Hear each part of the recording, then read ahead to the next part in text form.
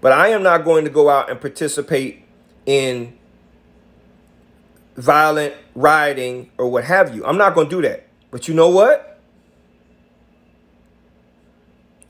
I mean, I'm, I'm not going to talk. I'm not going to talk to talk to talk about people who express themselves in that way either. I have no opinion on that because I don't understand their situation. I have no opinion.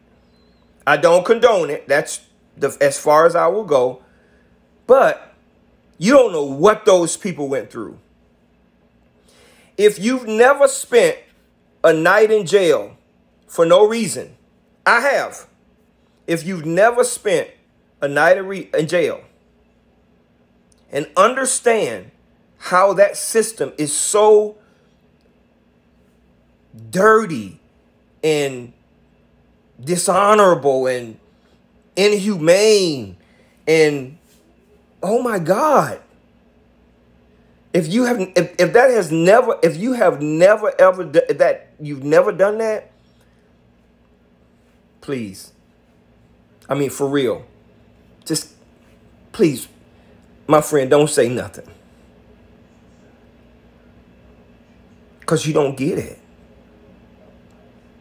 You don't understand. The hurt the pain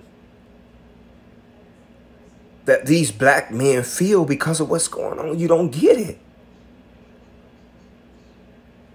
You don't.